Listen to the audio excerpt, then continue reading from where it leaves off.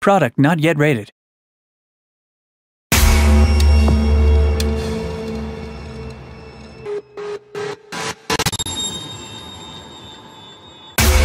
By the time you hear this, I will likely either be dead, or undead, or insane, or caught in an alternate dimension or something. This can't be real. Where am I? The virus is real. And it's coming.